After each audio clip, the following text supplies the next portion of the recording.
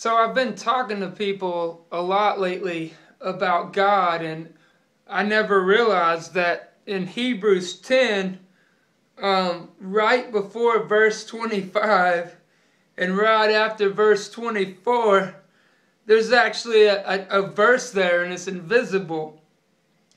And it says, Go find you a denomination of your preference, um, Roman Catholic, Pentecostal, Baptist, Church of Christ, it doesn't matter, just whatever your, your preference is and whichever um, tickles your fancy.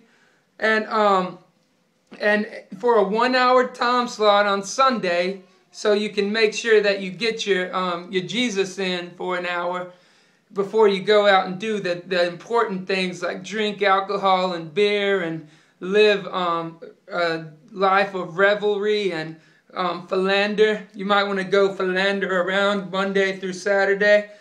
So um, this, this invisible verse here actually says you have to select one of these buildings. Your, your body is not really the temple, like the Bible says. You actually have to go and find a, a real temple.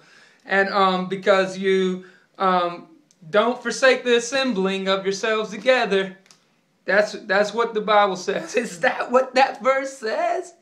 It says all that right there in that invisible space, right there between verse 24 and 25. It says all that. I never knew.